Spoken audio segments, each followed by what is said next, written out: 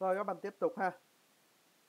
Thế thì ở đây xong rồi, nhưng các bạn thấy này, nếu như mà cái tin tức nó càng ngày nó càng nhiều ra, thế thì các bạn thấy nó chỉ một vấn đề nó nảy sinh, đó là vấn đề phân trang thế thì ở đây tôi sẽ xử lý cái kỹ thuật phân trang ok ha.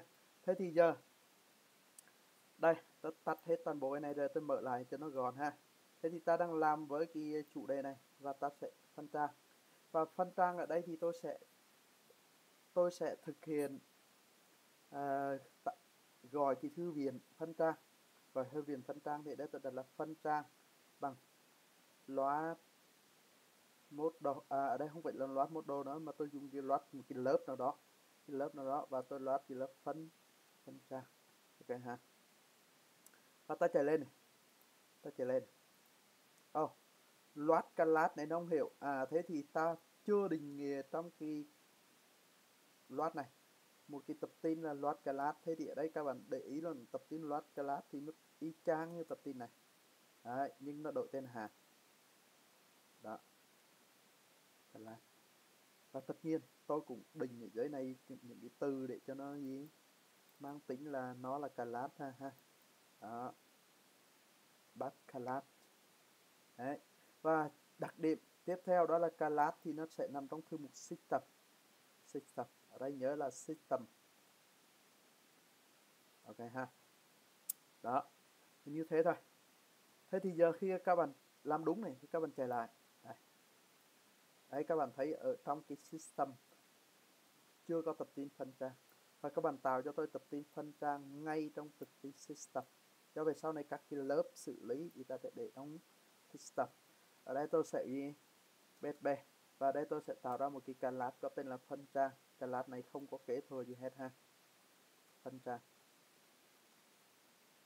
đó là một cái lớp xử lý công việc. Ok ha. Rồi.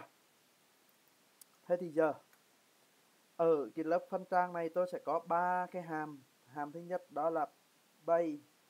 Thứ nhất là bay current. Đấy, một tí nữa tôi sẽ bê đường cốt vào đây. Và thứ hai tôi sẽ có hàm thứ hai đó là bay first. First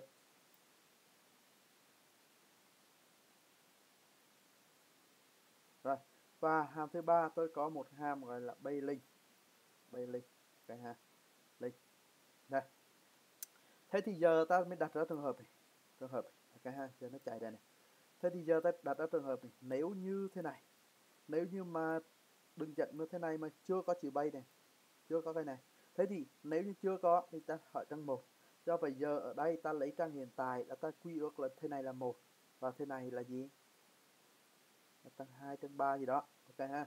Do vậy giờ ta sẽ hỏi xem có biến bay này chưa? Ta nhớ là ta quy định là biến bay nha. Do vậy ở đây trang hiện tại này làm nhiệm vụ là trả về biến bay đó. Do vậy đây tôi sẽ hỏi nếu như insert cái biến gì? Biến bay.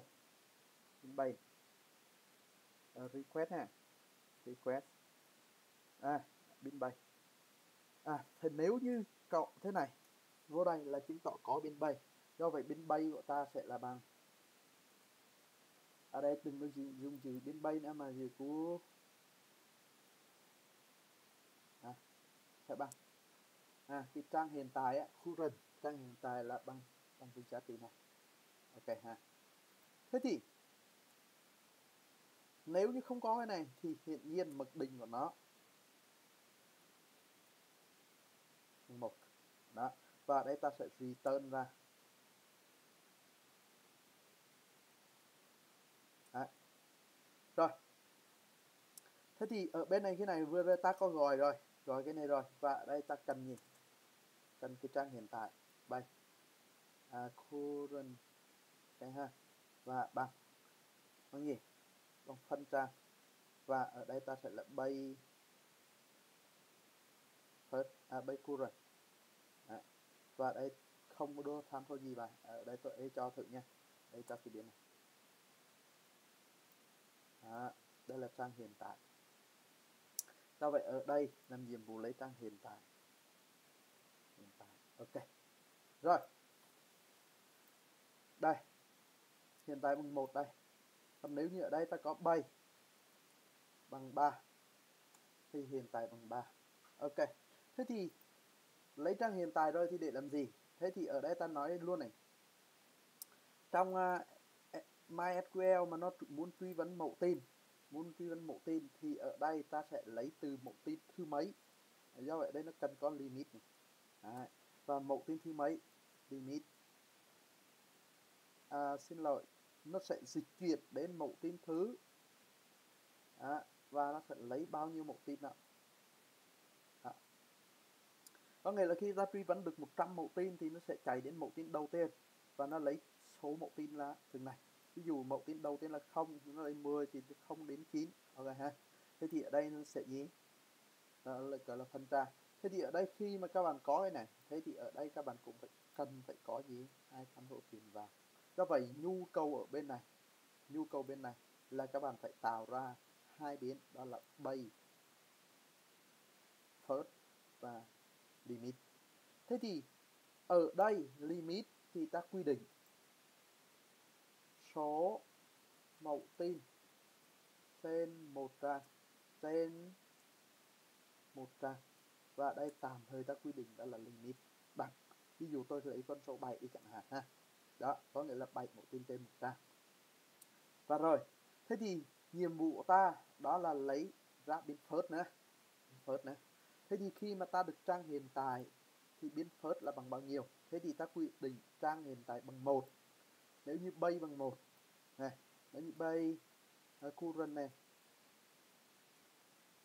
nó bằng một thì ta sẽ lấy cái trang first đó first first sẽ bằng bằng 0. đây, còn nếu như nếu như cái này mà bằng 2 thì nó là bằng 7 thì một là từ 0 đến 7 thì cái này là từ 8 do vậy từ những cái cây này quy luật thì tôi sẽ đưa ra một cái công thức gọi là first sẽ bằng cái này. First này. Đây first thì bằng trang hiện tại. Đấy, mật trừ cho một tất cả nhân cho limit. Nhân cho số một một tỷ à là limit ok ha. Đấy. Thế thì đây là first. Đó. Nhưng ta đã sử, sử, sử dụng thư viện rồi. Thế thì cái hàm này ta nên để ở bên gì? Thư viện. Ok ha. Do vậy ở đây ta sẽ làm luôn này phân trang và đây có cái hàm là thế này rồi. Thế thì cây này return này này. Đấy mà return cái này thì các bạn lại biết là nó phải có cái này. Đó, và nó phải có cái này. Ok ha. Rồi do vậy ta cần truyền hai cái này vào. Truyền cái này vào. Ok. À. thế thì có người sẽ nói là à sẽ truyền một cây được không? Còn cây này thì ta lại lấy cái này. Do vậy trên thực tế, biến khu rần này ta không có, không cần xài cũng được. Do vậy ở trong này đấy, ta có thể làm gòn nó thế này. Đây là một thì biến này, này không cần tuyển. Đấy là tức thì biến này bằng bằng gì ở đâu? Bằng cây này bằng gì? This this zip là cái lớp này ta phải gọi cái lớp hàm này. Do vậy cái hàm này vẫn phải định nghĩa nhưng bên này ta không cần cần xài bên này ta không cần xài ok ha bên bên bên này, này. ok ha. Nhưng sau này khi các bạn làm thì các bạn cũng cần cái này để ta biết phân ra gì. Ok ha ok rồi. Thế thì cái này tạm thôi ta không cần xài. À. Đấy, ta không cần xài. Thế thì nhiệm vụ à, là biến first là bằng gì? Phân tra. Bay. Bay gì? First. Ok ha. Và cái này ta chỉ truyền vào một cái biến limit thôi. Đó. Ok ha. Rồi. Thế thì giờ ta có biến first ta có biến limit rồi. Thế thì phân trang ok chưa? Ta chạy bảy một tin tên một ta, giờ nó ra này. 1 2 3 4 5 6 7 ok ha. Oh thế thì giờ nhiệm vụ của ta lại đùng đùng phải một vấn đề nữa đó là đừng link ở dưới này đừng link ở dưới này. Ok đừng link ở dưới này, này. Rồi ta mở lại này. Đây là trang đầu tiên này. Nó vẫn là một. À. rồi. Giờ vấn đề tiếp theo đó là đừng link ở dưới này. Thế đừng link ở chỗ này thì tôi sẽ thực ngoài vùng lập for đây. Đây là à, for này. À. rồi đây là round này. Thì ở đây tôi sẽ định ra một cái round này. Round ha. Round. Và đây tôi sẽ và tôi sẽ thực hiện uh, lấy đi cái, cái chuỗi phân trang ra. Và cái chuỗi phân trang đó là phân trang phân trang. Đấy. và tôi gọi hàm bay linh ra ok. Thế bay có bao nhiêu tham số ở đây? Bay có bao nhiêu tham số ở đây thì giờ bắt đầu ta ta tư duy này. rồi, số một tin trên một trang trang hiện tại không cần lấy nữa. Ok. Ở đây ta thể lấy trang đầu đầu tiên. Đây mẫu. Mẫu tin đầu tiên. Mẫu tin đầu tiên. Đó. và giờ ta cần cần cái gì? Cần phân trang thế thì khi mà phân trang á, thì các bạn phải biết được là ví dụ trong cơ sở liều có 100 mẫu tin 100 mẫu tin mà mỗi trang là 7 mẫu tin vậy ta sẽ thực hiện thức chia này.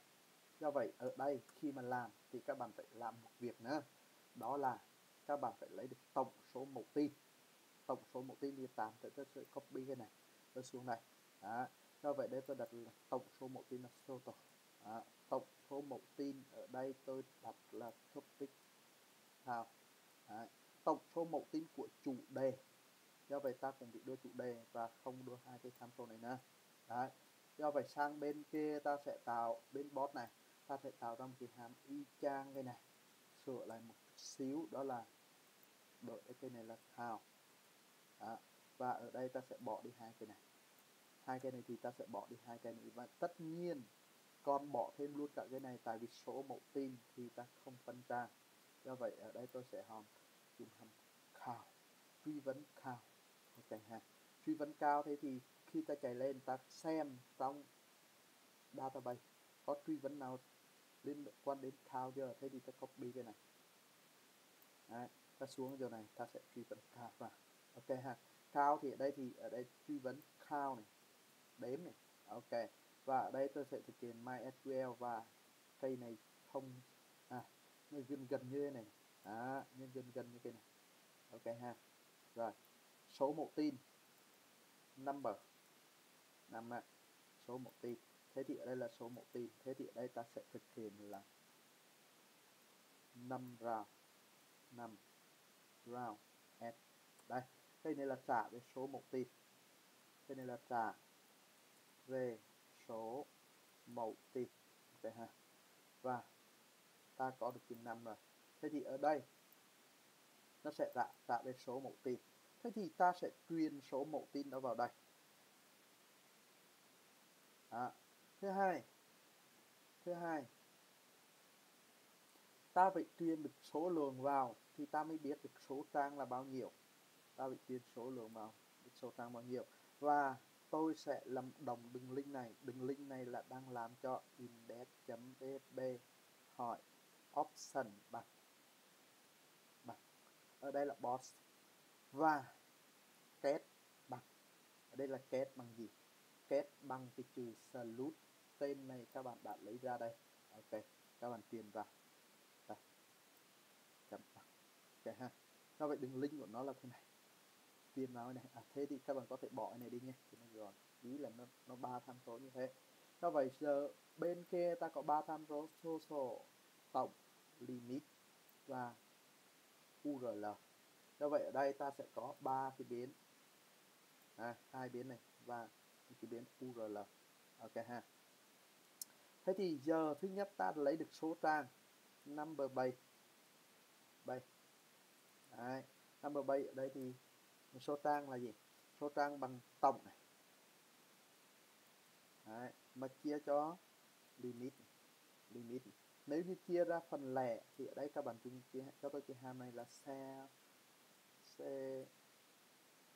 c e i l ok. Rồi ta test thử nha. Coi được bao nhiêu trang đây đã e cho number 7 à, số này. Và ta chạy lại. Cái nó chạy chơi này bốn trang ok. Thế thì bài của chúng ta là bốn trang. Thế thì ta sẽ chạy vùng lập for for từ trang 1 y bằng 1 và y còn nhỏ hơn hoặc bằng number 7 và ta sẽ thực hiện tăng bit y này, này lên. Đó. Và mỗi lần như thế ta sẽ nối tôi dùng kỹ thuật nối đi. Kỹ thuật nối ở đây. Là tôi dùng là HTML ha. Rồi bằng bắt đầu bằng rộng. Và nối thì ở đây tôi sẽ sử dụng kỹ thuật phân trang của Bootstrap 4 là base. Này, các bạn nhìn cái này. Ok, nhìn cái này thì các bạn nhìn ở đây, ta cần có cái này, ta cần có cái này, cần có cái này. Ok, thế thì cần có cái này thì ta sẽ cho nó cần cần thì tôi cho luôn, ok ha? Và để cho nó gọn gàng. Đấy, thế thì ở đây ta sẽ thêm có cái này. Đó. Rồi tiếp tục tiếp tục lại có thêm một lần nữa. Và nhưng thì lần này nhớ là các bạn tính dùng kỹ thật nối nha.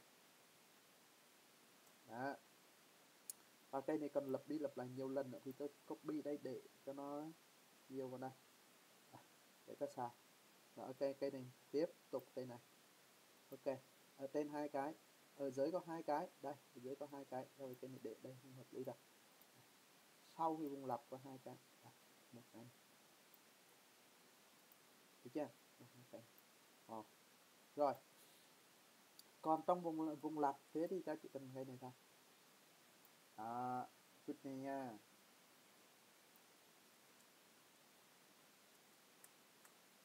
Rồi. Như thế thế thì giờ ta sẽ thiết lập link. Link cho nó. Thì ở đây các bạn đưa vào số số 1 ở đây các bạn đưa vào đây là số. Nhưng trước khi số thì các bạn gì thế này. Đó. Thế thì cái này á à, cái này nó chỉ mới chạy đến cái đường link mà đang đứng ở đây thôi này. Và ở đây ta bị thêm một cái biến. Và đây ta bị thêm một cái biến bay. Bay. Bằng. Đó. Và ở đây tôi sẽ đưa nó vào ID ở đây tôi đưa vào ID ID ok. Và tất nhiên cái chỗ này tôi cũng đưa vào. ID ID ok. Và khi chạy xong ở đây rồi thế thì ta sẽ return cái này. Return cái này. Okay, ha. Return. Đây cho à, return. Return ha. Return ha. Ok ha. Rồi ta chạy. Thấy ra gì? Oh return 23 phân trang bị lỗi 23 đâu à? rồi 23 ở đây. Rồi sao bị lỗi? À, y. Ủa, y chứ không có à for trong bị for s xin lỗi đấy. Đấy nó ra. Và tất nhiên nó ra gì đây? Biến id nó không hiểu. Id và tôi dùng id ở đâu nhỉ? Y với đâu vậy? Id à. đấy. Rồi ha. Cái này. Oh, nó không ra. À tại vì ta mới return. Return thì ở bên này ta bị e cho nó ra do vậy ở đây vị e cho này này. E cho. Rồi ha. Rồi các bạn muốn e cho thì các bạn có thể bê e cho sang bên kia được. À, đây, và nó ra phân trang này. Một. Hai. Ba. Ok và bốn này. Đúng không? Bốn cái. Thế thì giờ tôi cùng nói luôn này. Cái cách này nếu như mà xảy ra tình trạng là dẫn được ta phân trang ở đây. Ta phân trang đây là hai mẫu tin trên trang. Ví dụ thế nha thì các bạn nhìn này, hai một tin tiền trang thì nó sẽ rất là nhiều trang hay là xấu thế thì để mà cho tiền thì các bạn có thể vào trong cái trang web này các bạn à, mở cái mục uh, phân trang đây tôi có cung cấp cho các bạn một cái phân trang đây. Và các bạn à, cái hai hàm tên thì không có sao các bạn lấy y chang được rồi không chạy luôn ha.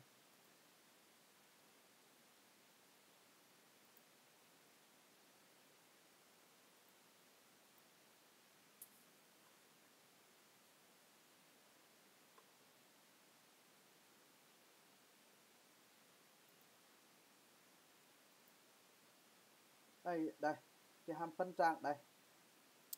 Đây, các bạn copy cái phân ờ, phân lòi của nó thôi. Phân lòi của nó, ok ha, copy lòi này. và tất nhiên ta coi lại cái cái một chút xíu này. Đây cũng là bay, nhìn nhìn, này. cũng là bay gì đây? Cũng là bay ờ,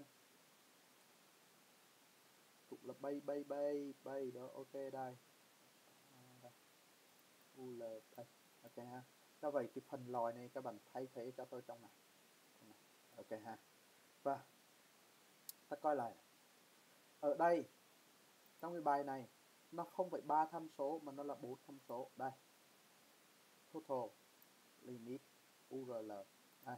thế thì giờ ở đây ta cần có một cái biến nữa. Là là cái biến ở đây nó dùng cái cụm từ là url này. Ok ha thế cái biến này lấy đâu ra? Thế cái biến này các bạn cũng sử dụng cái cách giống như ở trên này. Giống như trên này thì các bạn chỉ, chỉ cần là thế này thôi. Ok là xong. Đấy, đấy là trang hiện tại. Và cây này thì không cần ít else gì cái phần này này không cần ít else gì nữa phức tạp. Cái này chỉ cần là c e i l. Ok ha. Các bạn show này click trên này đi ha. và sau này nếu như các bạn mà thấy giao diện bootstrap 4 mà không phải đúng ở đây thì các bạn có thể tìm sửa lại đường code trong này. Là xong. Do vậy đây ta vẫn là ba tham số ha. Ba tham số không là bốn tham số nha. Ok ha. Rồi cái này Đấy, giờ đây nó có các bạn thấy này. Đấy, cái này nó 6 này rồi 8 này 9 này rồi cuối này. Ok ha. Và các bạn có thể căn nó dừa căn nó dừa thì dừa các bạn dùng cái này. Đây. Cân dừa nội dung thì ở đây đây là cân dừa thì ở đây các bạn dùng cái chữ là search content này. Ok. Thế thì các bạn đưa vào trong cái mục là gì? Phân ra. Ha đưa vào đây. Và các mình thử. Ok. Nội dung nó sẽ cần dựa vào đây. Rồi. Đó là trang loài sản phẩm và phân trang